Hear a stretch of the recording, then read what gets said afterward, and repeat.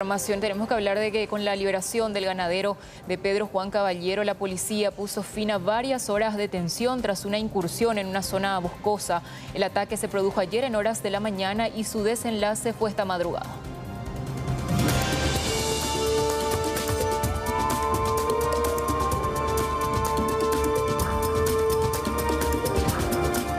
Incidente comenzó este miércoles a la mañana cuando unos cinco delincuentes irrumpieron en el establecimiento de un ganadero en la colonia Lorito Picada, jurisdicción de Pedro Juan Caballero. Todos los ocupantes, incluyendo al propietario y un grupo de peones, fueron tomados de rehén. La policía tomó intervención al enterarse que se había negociado por 60 mil dólares para liberar a las víctimas y superar la crítica situación. En primer lugar se solicitó 200 mil dólares. Luego el señor le manifestó que era imposible esa suma. Luego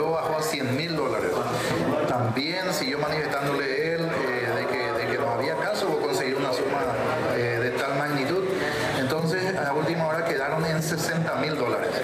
Eso se estuvo manejando en, eh, por razones de procedimiento y hasta el último se trató de bajar al máximo la suma, inclusive se le ofreció a ellos la suma de 10 mil dólares.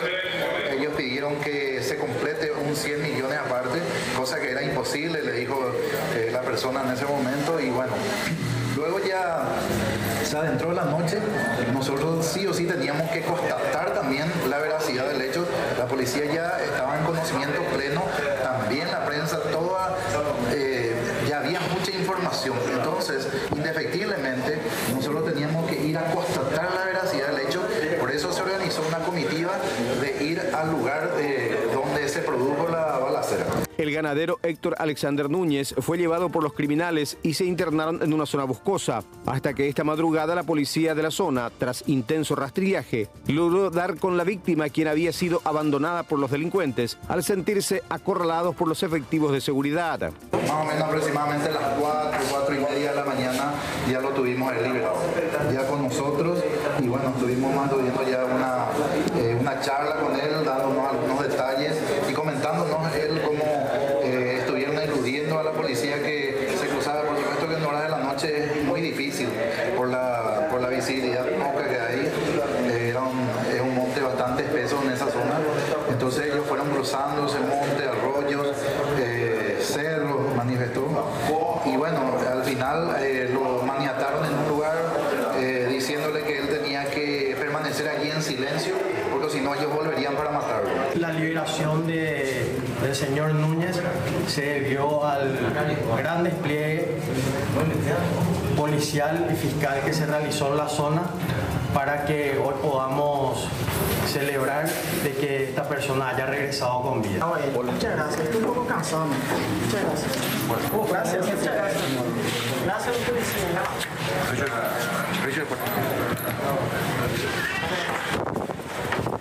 Le agradecemos demasiado, esta gente se movieron, gracias a Dios, salió todo bien mediante ellos.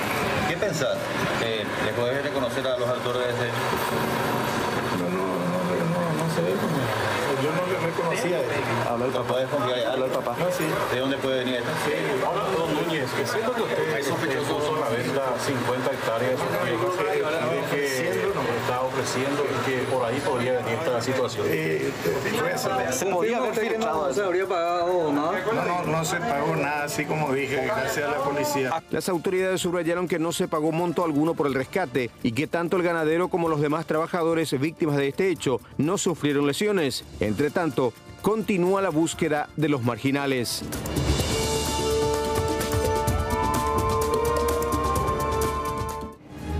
Y a propósito, seguimos en Pedro Juan Caballero. Allí está la compañera Blanca López con otros detalles de este caso. Muchísimas gracias Silvio, Vivi. Estamos en investigación de delitos de Pedro Juan Caballero. Accedimos a hablar en forma exclusiva, más tranquila, con ambos secuestrados, porque el primero en ser secuestrado fue el señor Héctor Núñez, padre, y posteriormente quedó en calidad de rehén el hijo Héctor Alexander Núñez. Vamos a escuchar lo que nos contaba el relato, a qué hora se inicia todo este secuestro y fue aproximadamente a las siete y media de la mañana donde don Héctor Núñez es tomado cautivo por estos delincuentes. Casa eh, cerca de mi corral, ahí me atropella a dos tipos ya. ¿A pie A pie, a pie. Ahí me atropellaron y me, ya- yo pues no me acosté rápido porque estaba con problemas en la cintura y ya me pegaron, me patearon ya ahí. Entonces, después me, llevaron adentro, ahí he visto que saliendo dos tipos de mi pieza y agarrando mis armas que tengo ahí, ¿verdad? Y- Cuando te altean a vos, ¿entre cuántos eran? en dos nomás. Después apareció, el otro estaba adentro de la, de la casa. Me llevaron allá y me preguntó cuánto personal le tenía y le- eso fue las ocho más o menos. Y pero mi hijo se ya fueron al, al- al fondo. Y ahí entonces me, comienza a, preguntar cuánto personal le tengo y le conté todo lo personal que había ahí, solo que no están todos en un lugar. Y entonces le le esperamos a mi hijo primero. Y cuando él vino así, yo le, le dije a mi hijo para que se baje. Y si tiene su arma, que tire nomás y que está una gente que no se preocupe por eso. Ahí ya empezó las negociaciones. ¿Qué te Eh, dijeron en ese momento? Sí, 200 mil dólares. que, y más, después le dije, era imposible. Ahí eh, bajamos a 100. Ahí hablamos más y bajamos a 60. Eso yo le dije, le iba a pagar. Eso. Vos ya estabas con tu hijo. ¿Cómo? La amenaza que te decían era, ¿vos te vas a buscar el dinero o cómo?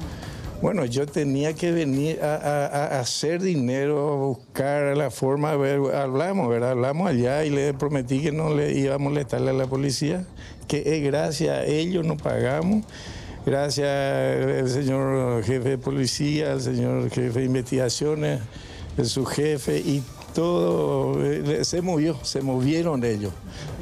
Eh, gracias impresionante que también brindó don Núñez es que evidentemente tenían campanas, además de las personas que lo tomaron cautivo a él y al personal y lo meten dentro de la estancia QAP. Eh, según él, cuando él salía ya como para buscar dinero, había personas que estaban eh, de vigía para confirmar que estaba saliendo. También hablamos con el hijo que nos relató el, momento difícil cuando eh, se producen las negociaciones ya entre los captores y eh, no llegaba. El papá no se iba de nuevo a la estancia, no llevaba el dinero y ponía excusas por el cual no se estaba yendo y más aún cuando eh, los, los delincuentes deciden llevarlo al bosque en un sitio donde él sabía que tenían eh, línea telefónica porque ahí en Cuapé es bastante difícil la comunicación. Esto contaba eh, Héctor Alexander eh, en el momento en que se encontraba en el bosque. Cuando me llamaba yo no me, daba cuenta, pero cuando me acerqué, me bajé del caballo y yo ya he visto ya la gente llegar. Mano arriba, mano arriba, acuéstese para que se tire en el suelo. Y yo justo estaba el señor conmigo, yo también le dije a él que, que se acueste en el suelo para que no hagan nada.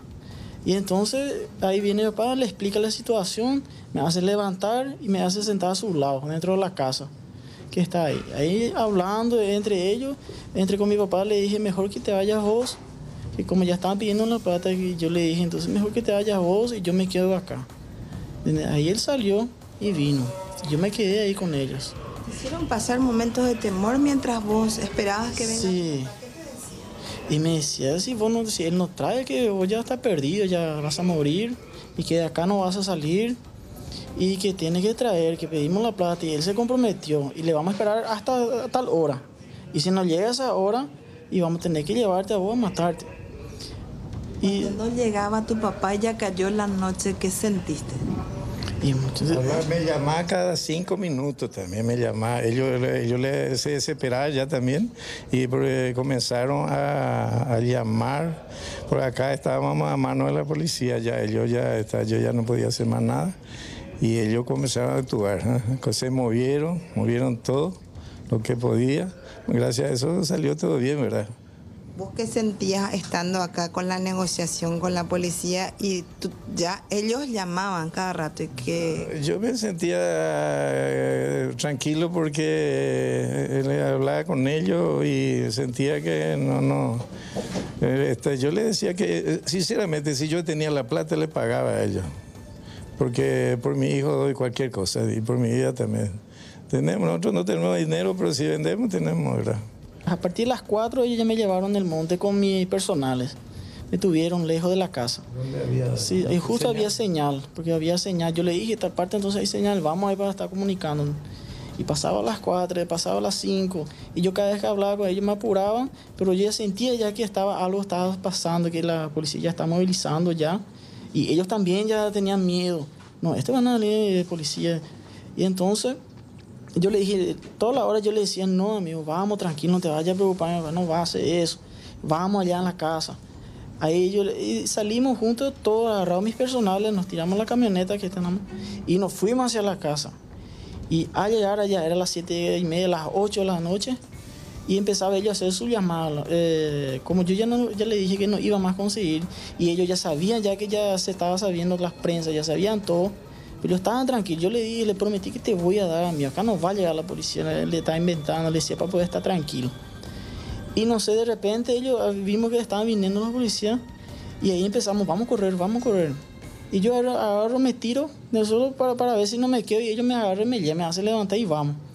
Y gracias ellos, ellos estaban, vinieron atrás de nosotros y tuvimos así un intercambio entre con ellos con tiro, pero todo un pasajero, ¿verdad? Y entonces me agarraron y salimos con él al monte. Y, me, y como me dijo bien, yo me entregué, Lora. Yo dije, mira, te, vamos, te voy a sacar, vamos a ver, mostrarme el camino. Como ya sabía uno entre ellos, sabía el camino. Ah, o sea que conocía, ya habían recorrido. Sí, ya estaban dos días más o menos, creo, allá. se preparaban por donde tenía que salir, ya ellos y se prepararon todo. Es decir, que les estudiaron, vieron los caminos. Sí. Por dónde salir, por dónde salir, por eso lo que me dijeron, lo que ya estamos dos días ya. Ayer la noche ustedes vinieron, ayer tu papá vino, o ayer la noche pasaste, nosotros estamos controlando, me decían. Y siempre amenaza, ¿verdad? La amenaza, amenaza. Y yo me, me tranquilicé bien, pero no hay lo como estar nervioso entre ellos. ¿Eran en total? Yo he visto, que yo he visto, eran cinco, de, de mi parte, que estaban conmigo ah, después de mí que estaba, tuvieron con mi papá. Yo he visto cinco que estaban ahí. ¿Todos estaban a cara descubierta? Eh, uno nomás. Pero no quiero que vos estés gritando. Dame dentro, si vos gritar enseguida, vamos a volver solo para matarte. Y le agradecí como yo todo, todo el camino, yo me fui humilde con ellos, no, no me fui prepotente, no me hice de loco con ellos. Y, me ataron un poste de alambrado que estaba en mis piernas, mi mano, mi boca para que no grite, hasta mi ojo. Y yo, yo realmente esperé, ya a la hora que ellos se fueron, eh, yo saqué, saqué todo, saqué todo, rompí todo y esperé nomás que se vayan. Esperé nomás que se vayan más o menos un 20, media hora. Y ahí empecé a venir por el camino. Ya no, yo no aguantaba más luego caminar. Ya está todo roto, mi ropa, mis zapatos, todo mojado. Ya no, y esperé un ratito y empecé a bajar los montes, porque un poco lejos era del, del empedrado de, de las calles.